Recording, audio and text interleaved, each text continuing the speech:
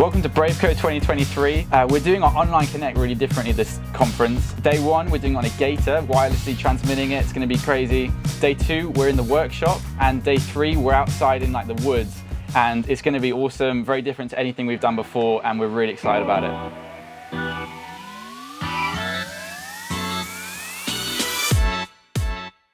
So they're down there, they've got three GoPros mounted in the Gator. Um, they're using an ATEM Mini and somebody's literally riding in the back and cutting and they're transmitting that feed uh, over the DJI wireless uh, transmission system to me.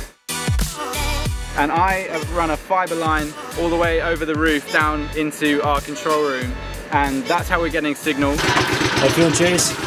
Um, excited. Let's, let's do it.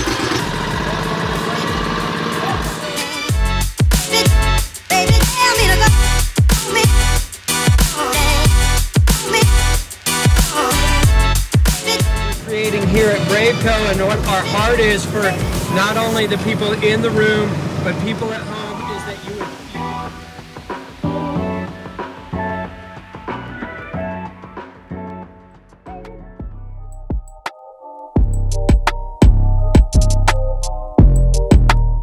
All right, day two, we're in the workshop. Um, this is a really cool setup. Here we've got a Nova P300 as our key light in a, a book light setup. Uh, behind we have a Hairlight, it's an Aputure um, 300D. Um, we've also got a Bluetooth controlled MT Pro. It's giving a really nice blue tint to the background. Uh, we've also got just like a work light here that's, you know, a little practical, lighting up the manly paint cans and looking great. So they're gonna be sitting on uh, just buckets uh, we're gonna have a negative fill just right here and we're filming this all on a uh, Blackmagic 6K. So we're running two handheld uh, mics that are wireless and going into uh, MixPre 3 that runs into the camera and then the video and audio are sent over a fiber line all the way to our control room. We've also blocked out the skylight. That was fun. We got to ride the scissor lift um, and do all that up in the sky.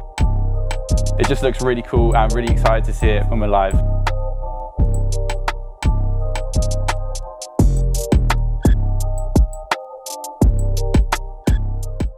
It's super basic setup today. Like we've just got this 12 by 12 diffusion overhead that we're having to move as the sun moves. We're doing this setup three times, one in the morning, uh, afternoon and then in the evening. So we're just having to move that to use the sun as our key light.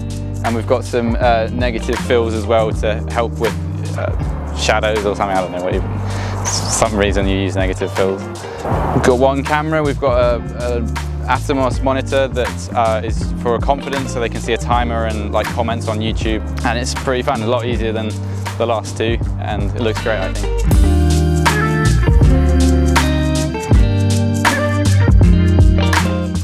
We didn't actually plan a tractor but it was here and it doesn't move so we're going to go with it.